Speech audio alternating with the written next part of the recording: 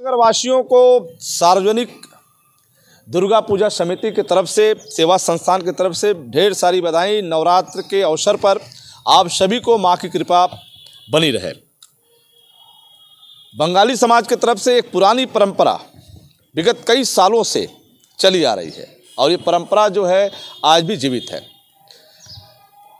पहले के लोगों ने जो परंपरा बनाई और आज के नौजवान उसको आगे ले चल रहे हैं। बंगाली समाज की तरफ़ से सबसे पहले, बात करें तो पूरे शहर में, यदि सबसे पहले अगर माँ का पट खुलता है तो बंगाली समाज की तरफ़ से जो ये दुर्गा पूजा आयोजन समिति है इनका खुलता है। कल दिन था शुक्रवार और शुक्रवार के दिन माँ का पट खुला। और शुक्रवार, शनिवार, रविवार, सोमवार, यानी विजयदशमी के दिन तक, मंगलवार तक। क्या क्या कार्यक्रम है, उसके बारे में हम विस्तार से आपसे समझेंगे कि आज यानी शनिवार को रविवार को सोमवार को। मंगलवार को भी है कि हाँ मंगलवार को विजयदशमी का दिन सिंदूरदान तो आज क्या क्या होगा? चूँकि आज शनिवार है कल तो बीत गया। आज क्या क्या कार्यक्रम है? अब आज तो शाम का माँ की पूजा है और उसके बाद माँ की आरती भोग प्रसाद। माँ की पूजा कितने बजे शुरू होगी? वही शाम को संध्या समय सायं सात बजे करीब। आरती? आरती उस पंडित जी की आरती के बाद हम वॉल्टियर्स कुछ आरती करेंगे माँ के सामने। सात से नौ? हाँ नियर अबाउट सात से नौ तक। पंडाल दर्शन कब तक होगा? दर्शन वही साढ़े ग्यारह बारह बजे तक। बारह बजे हाँ। मतलब सात से लेके बारह बजे तक श्रद्धालुओं का आना जाना लगा रहेगा। चलिए हो गया आज का दिन। तो इसमें कौन कौन लोग शामिल होते हैं जो आरती करते हैं जो पूजा करते हैं कहाँ से आते हैं? इसमें आरती करने वाले तो हम ही लोग होते हैं जनरल वॉल्टियर्स और पंडित जी होते हैं सबसे पहले। कहाँ से आते हैं? पंडित जी कलकत्ता से आते हैं सर। कलकत्ता के पंडित द्वारा माँ की आरती और पूजन होता है। विगत कई दिनों से कलश स्थापित है कलश पूजन होगा। फिर इसके बाद इसके बाद कल, कलकत्ता से हमारे ढाक बजाने वाले आते हैं कलकत्ता से माँ का भोग बनाने वाले लोग आते हैं जो माँ को भोग विधिवत चढ़ाई जाती है। माँ की आरती के पश्चात हम लोग आरती करते हैं। तो जो माँ का भोग तैयार होता है वो कलकत्ता के कारीगरों द्वारा होता है। गजब। बलिया में यानी भिरगू क्षेत्र में सजा दुर्गा पंडाल माँ का माँ का दरबार बंगाल से लोग आते हैं भोग की तैयारी करते हैं और उन्हीं के हाथों बनाए हुए भोग को ग्रहण भी माँ करती हैं। देव। अच्छा आज हो गया आज का दिन। तो बड़ा मज़ा आता होगा नगाड़ा ढोल बजता होगा लोग झूमते होंगे पूरा। हाँ जी हाँ जी हाँ। हाँ। तो गौतम संज्ञाल सन्याल सन्याल। सॉरी सन्याल। आ, कुछ कुछ कुछ होता है। तो आ, आज हो गया आप- आपका सप्तमी। सप्तमी। तारीख हो गई इक्कीस। बाईस को चले हम। बाईस को क्या होगा बाईस को महाअष्टमी।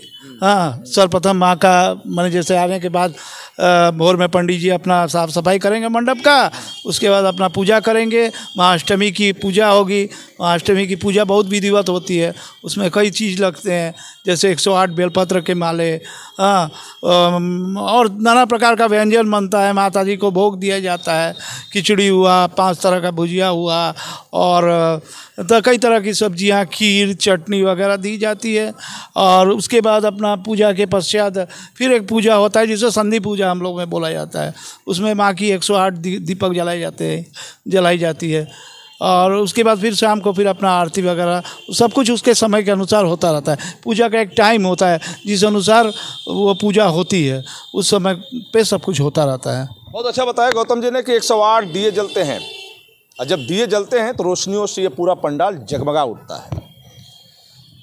बेलपत्र जो अपने शिव जी को चढ़ता है बाबा बालेश्वरनाथ हर शिवालय में वो माँ के लिए भी 108 108 108 बेलपत्र चढ़ता है। दोस्तों बड़ा ही बेलपत्र का आ, बेलपत्र का माला। बड़ा दिव्य दर्शन मिलता है। ये बंगाली समाज की तरफ़ से जो आयोजन होता है बहुत ही जानदार और शानदार होता है जिसकी प्रशंसा खूब जम के होती है। और जब ये पूरा कैंपस भरा होता है, आरती भी होती है तो साधारण नहीं झूमते हुए, पूरे नगाड़े के साथ हर तरह की आरती होती है। और आरती कंपटीशन भी होता है, लोग इसमें शामिल भी होते हैं। ये रही बाईस तारीख। की अब हम आते हैं तेईस तारीख दिन सोमवार को।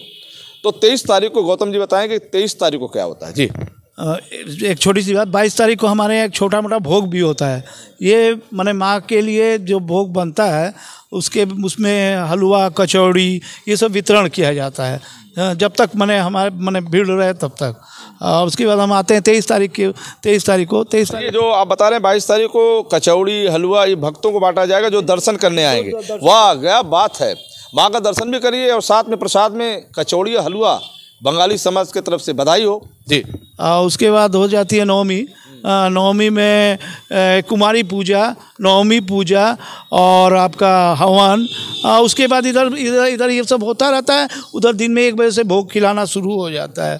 यानी माँ का जो भोग है, वो वितरण किया जाता है। लोग आते हैं, बड़ी श्रद्धा के साथ ग्रहण करते हैं और उसके बाद शाम होती है, शाम को अपना संध्या आरती होती है, फिर भोग चढ़ता है शाम का और उसके बाद अपना आरती वगैरह होती है। यही चलिए बहुत बहुत धन्यवाद। यही बाईस को। कि आपने बताया कि बहुत तरीके से कार्यक्रम होता है कुंवारी कन्याओं की पूजा होती है उस दिन। तेईस तारीख तेईस तारीख को। और बाकायदे उस दिन जो जुलूस निकलता है उसमें शहर के लोग शामिल होते हैं। तो क्या क्या होता है फिर? मैंने तेईस तारीख को? तेईस तारीख को जो हमने बताया वही होते हैं। सिंदूर वगैरह। नहीं चौबीस को सिंदूर वो दशहरे के दिन होता है। दशहरे के दिन चौबीस तारीख। हाँ उस दिन सिंदूर खेला होता है। माँ को मैंने जो औरतें हैं बात कर रहे थे चौबीस तारीख की। चौबीस तारीख को जब माँ की प्रतिमा विसर्जन के लिए जाती है उसके पहले क्या क्या कार्यक्रम होती है वो जानिए। उसमें सिंदूर दान होता है महिलाएँ आके माँ को सिंदूर लगाती हैं उनका वरण करती हैं उसके बाद उनकी परिक्रमा करती हैं उनको तरह तरह की मिठाइयाँ खिलाई जाती हैं उसके बाद फिर माँ की विदाई की जाती है। चलिए तो 24 तारीख को माँ की विदाई होगी और उसके पहले बहुत सारे कार्यक्रम आयोजित होंगे। उस कार्यक्रम में आप ज़रूरी है कि आपका रहना क्योंकि सिंदूर का एक बड़ा अच्छा कार्यक्रम होता है। उसमें अ, हमें लगता है कि बहुत सारी महिलाएँ इसमें शामिल होती हैं। माँ के प्रति जो आस्था रखती हैं एक बार ज़रूर यहाँ आती हैं। तो कार्यक्रम का जो हमने आपको बताया बीस इक्कीस बाईस तेईस चौबीस ये कार्यक्रम लगातार चलेगा और आज इक्कीस तारीख है शाम को आप ज़रूर आएँ क्योंकि आज का कार्यक्रम बड़ा ही सुंदर है। फिर हम आपसे जुड़ेंगे तब तक इतना ही।